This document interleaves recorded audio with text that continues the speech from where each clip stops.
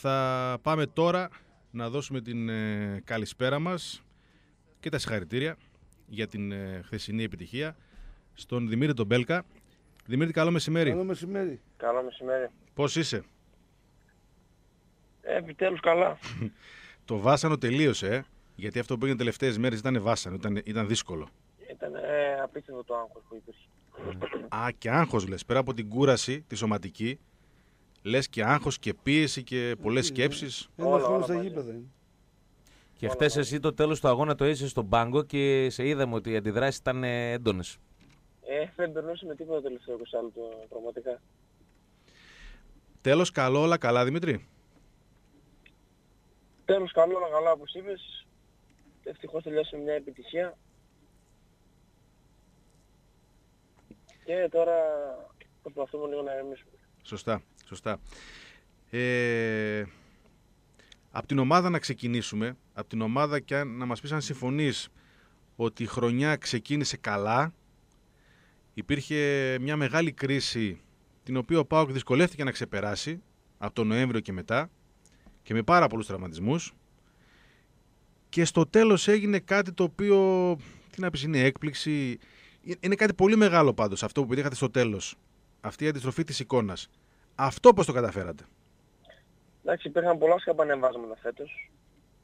Θα έλεγα υπήρχαν πιο πολλές πίκρες παρά χαρές σε όλη τη χρονιά. Αλλά ευτυχώς και θέλω να δώσω και μπράβο σε όλους, σε όλους τους συμπαίκτες μου και στο προπονητικό team που καταφέραμε να, να βρούμε τα ψυχικά αποθέματα για να καταφέρουμε αυτό που καταφέραμε χθες. Και σε όλα τα πλοία. Λες κυρίως ψυχικά αποθέματα. Ναι, Δηλαδή- ήταν καθαρά, εγώ πιστεύω έπαιξε ρόλο η καρδιά και η ψυχή όλων γιατί φάνηκε μέσα στο γήπεδο και να, μέσα σε δύο μέρες να βγάζουμε τόσο, τόση ένταση και να πάρουμε αυτό που πρέπει να πάρουμε σε αυτά τα δύο τελευταία μάτια ήταν ε, πιστεύω καθαρά ψυχικά. Η τακτική, τα συστήματα, οι θέσεις, όλα αυτά σε δεύτερη μοίρα πέρασαν; Όλα στη δεύτερη μέρα πιστεύω, ναι. Α- Αυτό ισχύει για όλο το τελευταίο διάστημα ή λες τώρα μόνο για τα τελευταία παιχνίδια; Ε, στα τελευταία δύο παιχνίδια συγκεκριμένα θα το έλεγα αυτό, αλλά εντάξει και στα playoff γενικά σε όλα τα playoff. Αλλά συγκεκριμένα στα τελευταία δύο παιχνίδια. Μμμ. Πώς το έχεις εσύ στο μυαλό σου, Δημήτρη, τι σημαίνει αυτή η πρωτιά στα play-off και η συμμετοχή του ΠΑΟΚ στα προκριματικά του Champions League; Είναι κάτι πολύ μεγάλο, είναι κάτι αυτονόητο για τον ΠΑΟΚ, είναι μια ευκαιρία, πώς το αντιμετωπίζεις; Εντάξει, αυτονόητα δεν μπορούσα να το πω γιατί δεν βγαίνεις κάθε χρόνο στα προκομματικά Μμμ. Του Champions League. Ε, για μένα προσωπικά είναι επιτυχία γιατί θα αγωνιστώ πρώτη φορά σε προκομματικά. Την προηγούμενη φορά δεν ήμουν στην ομάδα. Ναι. Και είναι στο μυαλό μου το έχω για μεγάλο πράγμα να αγωνιστείς και ακόμη πιο μεγάλο εντάξει δεν μπορώ να φανταστώ να μπουν μέσα. Αλλά πραγματικά θα κάνουμε το καλύτερο. Ξέρεις γιατί λέω αυτονόητο, γιατί πολλοί μετράνε και υπολογίζουν το ποδόσφαιρο με βάση τα budget και λέγεται ότι πίσω από τον Ολυμπιακό ο ΠΑΟΚ έχει το πιο μεγάλο budget, άρα αυτονόητα έπρεπε να είναι και το φαβορή για την ε, δεύτερη θέση. Ναι, εντάξει, σίγουρα παίζει ρόλο και αυτό, αλλά και μεγάλες ομάδες στο εξωτερικό με τόσα μεγάλα μπάτια δεν βγαίνουν καν στα Champions League. Οπότε δεν μπορεί να παίξει ρόλο μόνο το budget. Ναι.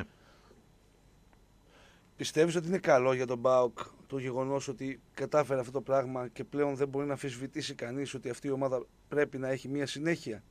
Γιατί κακά τα ψέματα, ένα από τα προβλήματα που έχουμε εδώ πέρα είναι ότι τελειώνει μια χρονιά και πρέπει να φύγουν όλοι, να πάθουν κάτι όλοι, να εξαφανιστούν όλοι κτλ. κτλ. Αξίζει η ομάδα αυτή τη συνέχεια, αυτό απέδειξε χθες. Ναι, αξίζει και όπως έχω πει και πιο πριν ε, σε κάτι συζητήσεις ότι πρέπει να μπει μια βάση, όχι απλά να καταφέρουμε αυτό που καταφέρουμε φέτος και του χρόνου να έχουμε πάλι τα περσινά παράδειγμα. Πρέπει να υπάρχει μια βάση, μια σταθερότητα και όλο να ανεβαίνει η ομάδα βήμα-βήμα. Νιώθεις ότι φέτος μπήκε αυτή η βάση; Ήταν, Πιστεύω- ήταν στόχος. Ναι. Ναι, ήταν στόχος και πιστεύω πως ναι, έχει μπει αυτή η βάση. Έχει μπει η βάση. Ναι και πιστεύω έχει, μεγάλη, έχει, μεγάλη, έχει μεγάλο στίγμα σε αυτό ο Ήβιτς. Ναι. Εκεί θα πηγαίναμε. Εκεί θα πηγαίναμε. Η είδηση της ημέρας χθες ήταν η απόφαση του μεγαλομετόχου να συνεχίσει ο Βλάντα Νίβιτς στην τεχνική ηγεσία. Πώς ακούστηκε και στα δικά σου αυτιά αυτή η απόφαση; Εμείς, εμάς μας έχει ενημερώσει και μέσα στα αποδητήρια όταν ήρθε να μας μιλήσει και μας είπε ότι το καταφέραμε, εμείς θέλαμε, καταφέραμε την ουσία να το, να του δώσουμε την ευκαιρία και αυτός ήταν πολύ καλός και όλοι χαρήκαμε. Γιατί ξέρει, γνωρίζει και εμάς και το ποδόσφαιρο το ελληνικό και πιστεύω ότι είναι ο καταλληλότερος στη στιγμή. Δημήτρη, τι σημαίνει για ένα παίχτη του ΠΑΟΚ να αγωνίζεται στην ομάδα που διοικεί ο Ιβάν Σαββίδης; Τον έχετε δει και σε καλά, τον έχετε δει και σε άσχημα. Πώς το αντιμετωπίζεις εσύ α, α, αυτό το γεγονός; Εντάξει, αυτό που είπες, ε, τον έχουμε δει από όλες τις πλευρές. ναι. Και εντάξει, είναι πολύ ωραίο πράγμα να αγωνίζει αυτή την ε, εποχή στον ΠΑΟΚ. Δεν το συζητάω, είναι... Εντάξει, για, για κάποιους είμαστε και πολλά χρόνια, οπότε Ναι, μπορείς να συγκρίνεις, ήταν όνειρο ναι. να αγωνιστούμε εδώ. αλλά ναι. ε, τώρα είναι ένα παραπάνω. Ε, ψήφισες και εσύ τον Τζαβέλα ως καλύτερο παίχτη της ε, χρονιάς; Ναι. Γιατί; Ε, γιατί ήταν, ε, πιστεύω, πιο σταθερός και πρώτη, φο- πρώτη χρονιά που πέρασε συμπαίκτης με τον Γιώργο και πιστεύω το άξιζε, γιατί έδωσε ε, μπο- απίστευτες βοήθειες. Έδωσε πολλές Και βοήθειες. γκολ και ναι. Στο τέλος του αγώνα και στα πολιτήρια από ό,τι είδαμε, ήσασταν όλοι πιο πολύ πάνω στο γλύκο. Ε, ήταν η, η Έχει απόκρουση... ακούσει πολλά. Α, γι' αυτό. Γι' αυτό. Έχει ακούσει πολλά και χθες ε, πραγματικά έτσι τον ξέρουμε τον Παναγιώτη και απλά έχει δημιουργηθεί μια άσχημη εικόνα και πραγματικά χαρήκαμε για τον Πάνο. Τον βαραίνει δηλαδή, τον βάρινε αυτό το πράγμα ότι πιέζεται πιο πολύ, ακούει... Δεν νομίζω να πιέζεται αυτός, απλά δεν ακούγεται το ωραίο όλο αυτό που έχει δημιουργηθεί απέναντί του και γι' αυτό χαρήκαμε πολύ χθες. Και εσύ έχεις ακούσει όμως. Και εγώ έχω ακούσει, ναι. Προσπαθώ να μην ακούω. Ν- Να μην ακούς καθόλου, να τα αποφεύγεις ή να Ναι, απαντάς στο προσπαθώ να γήπεδο; μην ακούω. Προσπαθώ να μην ακούω και Καλά. να κάνω τη δουλειά μου, να βελτιώνομαι εγώ. Είναι Στην κο- ουσία και εγώ πρώτη χρονιά δεν που έδωξα στον ΠΑΟΚ φέτος. Μμ. 48 συμμετοχές ήταν... Δεν είναι εύκολο πράγμα. Από σένα είσαι ικανοποιημένος, τρίτος σκόρερ και τρίτος σε assist στην ομάδα νομίζω. Αν δεν κάνω λάθος. Απολογισμός Ε, του Πέλκα θα μας... χθεσινή- Με τη χθεσινή νομίζω έγινα πρώτος σε assist. Το έδωσε ήσουν, α ναι. Ποιος ήταν, Και- α, ναι. Α, ναι, δεν- Εντάξει, για πρώτη χρονιά είμαι πιστεύω πολύ ικανοποιημένος. Υπήρχαν 48. τα επανεβάσματα, δεν ήταν εύκολο όλο αυτό. Η ομάδα γενικά πέρασε πολλά. Αλλά καταφέραμε και ήμουν από τους λίγους που δεν, δόξα τω Θεώ, που δεν χτύπησα και... δεν σκεφτόμουν μέσα στα θετικά. Δημήτρη, επιστρέφουμε στον Αύγουστο, τον περσινό, στον, όχι, Αύγου- Ιούλιο. Και σου λέμε ότι θα έχεις 49 παιχνίδια, 9 γκολ, 7 assist. Θα ήσουν ικανοποιημένος; Εσύ τι λες; Όχι, εγώ εσένα ρωτάω. Ανάλογα το πώς ξέρεις τον εαυτό σου, τα κριτήρια που βάζει για σένα, στην αυτοκριτική σου.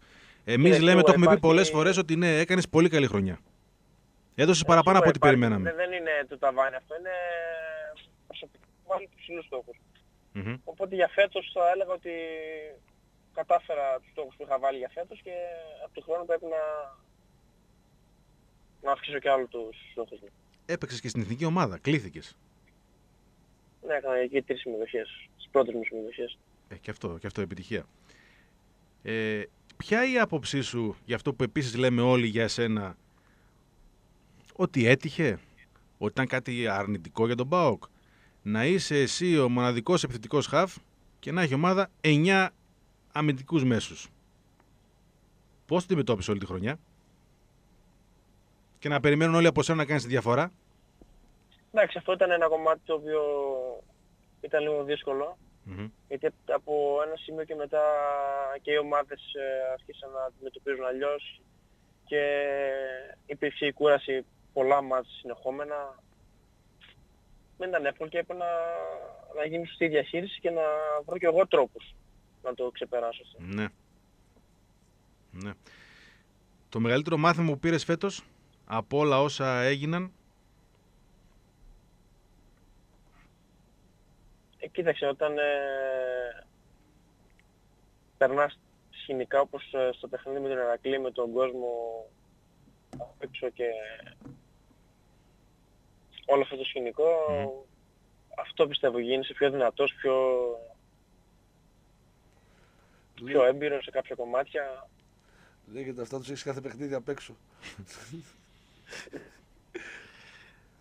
Η, η πιο ωραία στιγμή της φετινής ε, σεζόν, η χθεσινή βραδιά ή και κάτι άλλο που ίσως κρατάς και δεν το θυμάσαι για χρόνια; Ε, για μένα προσωπικά η χθεσινή βραδιά ήταν χαρά, μεγάλη χαρά γιατί όπως είπα και πριν ε, δεν περάσαμε χάρες φέτος. Εκτός από το μάτς από την Μπρόνιπη στο εδώ μέσα Μμμ. που μπήκαμε στην Ευρώπη και τα δύο μάτς με την Dortmund τα οποία εντάξει, ειδικά το δεύτερο μάτς ήταν πολύ σημαντική νίκη αλλά δεν είχε βαθμολογικό Ναι. ενδιαφέρον. Ναι. Ήταν εντάξει ιστορική νίκη. Χθες θα έλεγα ήταν η πιο μεγάλη βραδιά. Δημήτρη, φέτος μυϊκά δεν είχες κανένα πρόβλημα ή μια μικρή θλάση, αν θυμάμαι καλά; Ε, δεν ήταν φλάστα, ήταν ε, με προστάτευση πιο πολύ γιατί είχαμε το σπορ τότε στο ευρωπαϊκό και δεν έβγαλα όχι, ήταν είδημα στην ουσία και κάτσα δύο μέρες αυτό. τίποτα. Ωραία, ωραία. Πώς τα κατάφερες; Πώς εσύ δεν έπαθες τίποτα και άλλοι 15-18 συμπαίχτες σου είχαν και μία και δύο και τρεις θλάσεις; Τι, τι, τι, Πραγματικά τι, αυτό τι δεν συμπέρασμα μπορώ- έχεις δεν μπορώ να το βγάλει; εξηγήσω. Ναι, Δεν μπορώ να το εξηγήσω γιατί και ο Τζιόλης ήταν από αυτούς που δεν έπαθε κάτι. ναι, ο ναι, Καβέλας. ναι, ναι. Μα αυτής δεν θυμάμαι κάποιον άλλο να μην είναι τραυματίστηκε. Ο Μακ νομίζω δεν έβγαλε. Και ο Μακ, ναι. Το και ο Μακ. Κλάους, τι έπαθε ο Κλάους, δεν έπαθε τίποτα. Μυϊκό. Μικρό, όχι, δεν έμαθε αυτό. Όχι, είναι το πόδι που έπαθε στην προετοιμασία. Το Αυτό. έχετε συζητήσει, έχεις σκεφτεί; Έχει, με- σε ένα, είχε κάτι μια εβδομάδα νομίζω και αυτός με το, μέσα στον Παναθηναϊκό νομίζω έλειπε κάπου είχε, κάτι είχε πάθει. Δεν ξέρω πραγματικά, δεν ξέρω τι μπορεί να συνέβη. Ίσως και το μυϊκό σύστημα των παιχτών δεν, δεν μπορώ να καταλάβω. Μάλιστα. Γιατί δεν πιστεύω ότι υπήρχε κάποιο πρόβλημα με τα γήπεδα. Δεν, δεν, νομίζω. και με το γυμναστή που μιλούσαμε Μμμ. όταν τα είπε και ο Παύλο πρώτος και με τον Δανίλη δεν έχουμε κάποιο πρόβλημα. Τόσα χρόνια είμαστε. Ναι. Δεν νομίζω να φεύγει γήπεδα. Να καλησπερίσουμε και τον Γρηγόριο Τονατρίδη, τον συνάδελφό μας, για να κάνει και εκείνος τις τελευταίες ερωτήσεις. Γρηγόρη. Γρηγόρη, μας ακούς, έπεσε. Θα τον καλησπερίσουμε και πάλι σε λίγο για να κλείσουμε μαζί του αυτή την ε, συνέντευξη. Δημήτρη, τι εύχεσαι για την επόμενη σεζόν και για σένα και για την ομάδα; Πρώτα να επιστρέψουμε όλοι υγιείς. Ναι. Ε, να ξεκινήσουμε μια καλή προετοιμασία και να, να περάσουμε στα αστέρια όσο μπορούμε. Γρηγόρη, μας ακούς; Ναι, ναι, ναι, σας ακούω. Λοιπόν, να κλείσουμε και με τις δικές ερωτήσεις στον Δημήτρη τον Μπέλκα, ε, τον οποίο με χαρά φιλοξενούμε σήμερα τελευταία μέρα έτσι, της σεζόν.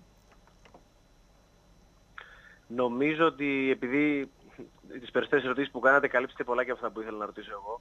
Αυτό που εισπράττω εγώ από πολλούς παίκτες της ομάδας ε, χτες είναι ότι εκτός από την χαρά που υπάρχει και Μμ. την ικανοποίηση γιατί τα καταφέραμε με πολύ μεγάλη δυσκολία είναι και μία πικρία ότι τώρα μας αποθεώνουν, τώρα καταλαβαίνουν ότι είμαστε καλοί ε, ενώ το προηγούμενο χρονικό διάστημα και στα δύσκολα αμφισβητηθήκαμε πολύ. Και θα ήθελα ένα σχόλιο, δηλαδή θα ήθελα να μας πει ο Δημήτρης πώς το βλέπουν οι ποδοσφαιριστές από την πλευρά τους. Και αν όντως χρειαζόντουσαν παραπάνω στήριξη στα, στα δύσκολα σε μια περίεργη χρονιά. Μμμ. Εντάξει, κοίταξε, ε, το ποδόσφαιρο είναι έτσι, είναι αυτό. Όπως και να το κάνουμε, ειδικά όταν όσο περνάνε τα χρόνια και, τα χρόνια και ακόμα λείπει ένα θέτης από την ομάδα, θα υπάρχουν, απαιτήσει, θα υπάρχουν απαιτήσεις πολλές. Με αυτό πρέπει να ζουν, με αυτή την ευθύνη πρέπει να, να κοιμόμαστε, να ξυπνάμε. Οπότε θα πρέπει να είμαστε δυνατοί σε αυτό και να μπορέσουμε να, να, μπορέσουμε να τα ξεπερνάμε αυτά τα, τα επεισόδια. Πρέπει να είμαστε όπως τώρα, όπως τελειώσαμε, έτσι να είμαστε δυνατοί και πάντα. Μάλιστα. Γρηγόρη, κάτι άλλο; Όχι, νομίζω, νομίζω ότι έχουν, έχω καλυφθεί και εγώ και τις προηγούμενες ερωτήσεις, οπότε δεν, δεν υπάρχει κάτι διαφορετικό.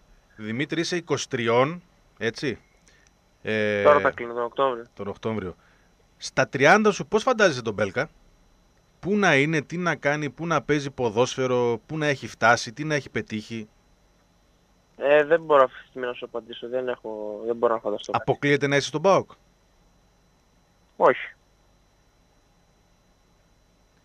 Μπορεί να πεις ότι μπορεί να το έχεις και στόχο; Ξέρεις, είναι πολύ σπάνιο ένας ποδοσφαιριστής πλέον να γίνεται σημαία σε μια ομάδα και να παίζει 10-15 χρόνια. Είναι πολύ σημαντικό αυτό, ναι. Άμα είναι, γίνεται να είναι εφικτό, φυσικά είναι πολύ σημαντικό. Ειδικά σε μια τέτοια ομάδα. Μάλιστα. Και όταν είσαι Επειδή- από πιο μικρός, όχι μόνο τα Βεβαίως. επαγγελματικά χρόνια. Έτσι.